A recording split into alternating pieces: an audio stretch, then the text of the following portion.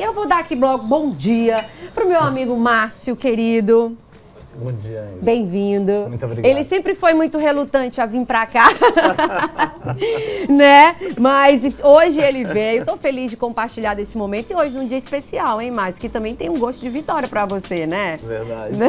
Aniversário de Terezinha. Aniversário de Teresina, a gente sempre faz aquele, meu Deus, eu, eu moro em Teresina, o que que é, eu venho fazendo? É um- é- a gente vai construindo dia após dia o nosso futuro. A gente fala, ah, mas o futuro é longe. Não, gente, o futuro é amanhã, Amanhã, já. verdade. E aí a gente já fica com aquela. Não é ansiedade, mas a gente fica naquele pensamento do, do como vai ser, né? E pra você não foi diferente, né, Márcio? Márcio é de Angical, veio pra Teresina com quantos anos, Márcio? Com 14 anos. 14 Estou anos. com 57. Veio com 14 anos pra estudar. É, vim para estudar, né? Em Angical, na época, não tinha o ensino médio, né? E aí vim para cá com 14 anos, ser uma criança, né? Uma criança. É, e me apaixonei por Teresina. Logo em seguida, quando terminou o ensino médio, já comecei a trabalhar e não voltei mais para Angical, né? Comecei o meu negócio em 89. 89. 89, Gente. é, como sacoleiro, né? Isso eu sempre tive curiosidade, né? E hoje ele está compartilhando não só comigo, mas com todo mundo. Ele começou como sacoleiro. É, falando de Teresina, eu acho que é, eu me sinto teresinense, né? Eu sou de Angical, mas eu, eu- minha vida inteira foi, Foi aqui. em Teresina. E foi a cidade que me abraçou, a cidade que me deu a oportunidade de trabalhar, começar o meu negócio e chegar onde a gente chegou depois de 30 anos de trabalho, né? Nossa marca hoje é consolidada, mas no início foi muito perrengue, como você falou. Bem, muito perrengue, Era né? sete vezes por ano dentro de um ônibus da Itapemirim. Pro Rio, Várias horas de viagem. 48 horas, chegou, chegou a ser 54 quando o ônibus quebrava. Gente, pro Rio de Janeiro que você foi a primeira Aí vez. comecei no Rio, eu conheci tudo de pronta entrega, Petrópolis, Teresópolis. Eu saía de, desmembrando o Rio, procurando lugares onde tinha um preço mais interessante para trazer e vender aqui na casa de amigos, em repartições públicas, na prefeitura, em hospitais. Que é como muita gente começa mesmo, né, Márcio? No é passado início. todo mundo começava assim, né? Não tinha internet, não tinha telefone celular, não tinha nada. Hoje as pessoas começam dentro de casa com a loja online. Com a loja online. É muito mais fácil. Hoje está tudo muito globalizado, a internet mudou tudo. E hoje, para quem está começando, é mais fácil para quem começou há 30 anos. Quantos anos como sacoleira? Eu fiquei de 89 até 92. Em 92 a gente abriu a primeira empresa, né? Em 92 a empresa era em casa, ali na- perto da, da Joaquim Ribeiro, na Aham. Vermelha, era na minha própria casa. Em 96 a gente abriu a primeira loja já como blackout na, na rua, na Coelho Rodrigues, Aham. em frente à primeira igreja batista, na Praça João Luiz Ferreira. Em 2009 a gente abriu, a gente mudou a, da rua para. Em 97 a gente abriu a primeira do Riverside. 97. É, em olha 97. só. O Riverside abriu em dezembro, inaugurou em dezembro de 96 e em, em junho, julho de 97 Vocês chegaram a gente lá. chegou no Riverside. Em 99 a gente abriu a segunda loja no Riverside, que era Blackout Surf, onde é a masculina hoje. A gente vendia surf na época. Em 2009 a gente mudou a loja de, do centro de Teresina para Frei Serafim, ali onde é a Tapaué hoje. Aham. A gente ficou lá de 2009 até 2014. Bastante tempo. 2014 a gente mudou essa loja para o Teresina Shopping. Teresina Shopping? No piso superior, na inauguração do piso superior. A gente ficou lá cinco anos. E aí mudamos para Nossa Senhora de Fátima. E estamos há mais cinco anos, estamos até na hoje Nossa lá. Senhora na de Nossa Fátima. Tá aí, gente, muitos anos de caminhada. Muito, Muitos altos e baixos aqui por Teresina. E apaixonado por Teresina, assim, eu vou para, eu viajo, a gente, eu viajo no mínimo quatro vezes por ano para fazer coleção, né? Passo dez dias fora, com oito, com cinco dias já estou com vontade de voltar De para voltar Teresina. pra nossa Teresina. De sentir o calor.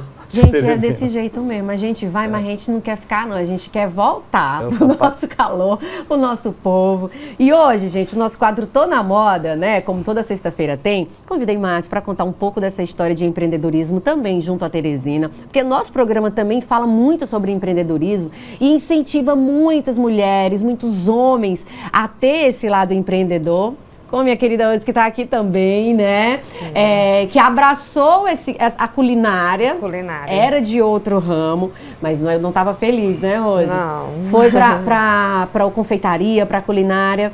E assim, é uma empreendedora, né? E você aí de casa que está nos acompanhando, que, ai, Stefania, eu sou sacoleira, ainda sou sacoleira.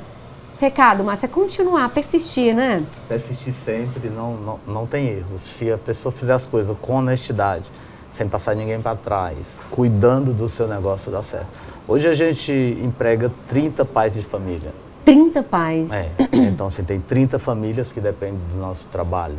Então a gente tem que ter ética e responsabilidade.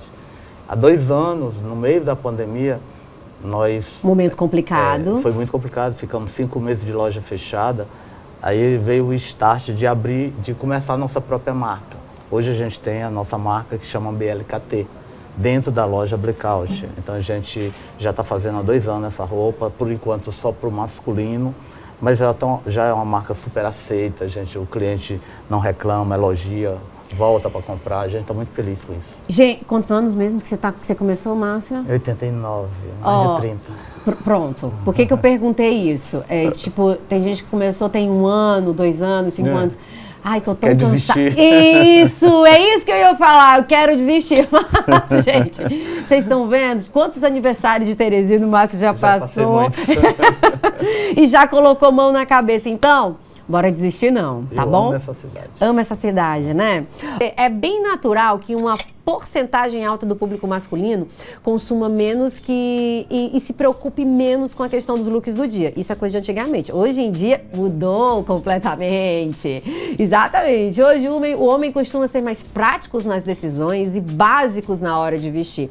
E muitas vezes chega, chega até a ser tão assim é, é, é pequena a, a, as escolhas, mas que faz muita diferença, né, Márcio? É verdade. Bom, não é só uma camisa e uma calça hoje em dia que eles pegam, não. Tem todo um aparato. Hoje eu recebo o Márcio, recebo o Miguel para o nosso quadro Tô na Moda.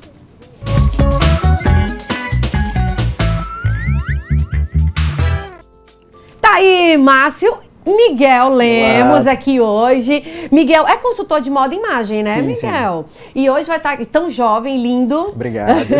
e vai falar hoje com a gente da moda masculina também, junto com o Márcio. Márcio, quando você começou, você vendia é, é, homem e mulher? É, sempre foi unissex, desde o início. sempre foi unissex, desde né? Início, é. Bom, e daí é, foi se aperfeiçoando, se aprimorando, os olhos foram. É... É, à medida que os anos vão passando, vai se abrindo as oportunidades. Quando você é muito pequeno, é, você não tem chance de vender grandes marcas. Aí você tem que ter um, um feeling para saber escolher o produto certo e para que tenha uma aceitação do público e você começa a crescer. No momento que você começa a crescer, as grandes marcas começam Se a abrir as portas ah, para ti. Te. Então começa a bater na tua porta, às vezes, para entrar, para vender na tua loja. Que bacana. E aí, é, falando de, do universo masculino, hoje o homem realmente, o Miguel vai falar com mais propriedade, como eu falo, eu sou o empresário da moda, eu não sou consultor. Então, por isso que eu resisti, entende, por né? isso que eu resisti tanto em vir. Márcio, mas né? entende, porque mas você entendo, escolhe tudo. Eu entendo porque toda a roupa da nossa loja é Passa escolhida por, por, mim. Olha só. Toda. Então hoje eu que viajo, eu que faço as compras, eu que quando eu faço alguma coisa pela internet, eu aqui, aí eu já já faço junto com a minha equipe. Mas quando eu viajo, eu faço. É eu levo sozinho. meus relatórios e fico. Eu, hoje com o WhatsApp a gente fica trocando figurinhas o dia inteiro na hora que está comprando. Porque assim, o que, que eu digo? Eu não sou um consultor de moda. Eu sou um empresário que vende moda e tem um bom gosto e sei escolher. Então, a, por isso que deu certo. E o olhar que você tem que ter ah. é diferente, né? Porque você não está comprando para você. É, não. A, às vezes a minha gerente diz assim, não, isso aí não é legal. Eu digo, mas não é você mas que é vai você. vestir. É. é. O público é muito grande. Então tem coisas que eu não vestiria. Mas, Mas você tem comprar, na loja, eu né? preciso comprar. Olha só, dica de empreendedorismo para você é, tem aí coisa que, tá que, que você não gosta. Compra às vezes até sem gostar, mas vende super rápido, porque o público gosta. Tá vendo? E tem coisa que a gente ama e não vende, E não nenhuma, vende nenhuma peça, peça. Só vende quando está na promoção. Mas Então olha. a gente erra sempre, a gente não só acerta, não. A gente erra, a gente erra muito Eita, eu também. ia ficar louca, gente. Eu ia ficar louca com isso. Miguel, mas diz pra gente, a gente que vai falar um pouco dessa moda do mundo masculino, os meninos aqui todos de preto, né? Que é muito característico. Até você Sim, eu é também. algo bem característico também do A mundo. gente combinou. Olha- É verdade, é verdade. Mas o que está na moda para os homens? O que é moda para os homens? O que é, que é estar na moda para os homens? Hoje em dia, a tem muitos homens que ainda estão naquela de não, vou botar só uma calça, um- uma, uma camiseta e um tênis. Pronto, ótimo. Não é mais isso não, né, Miguel? É verdade. Bom, a gente diz que o visual masculino ele é feito de detalhes, né? Afinal, a gente não tem tanto, tantas, tanta diversidade de roupas quanto o acervo feminino, né?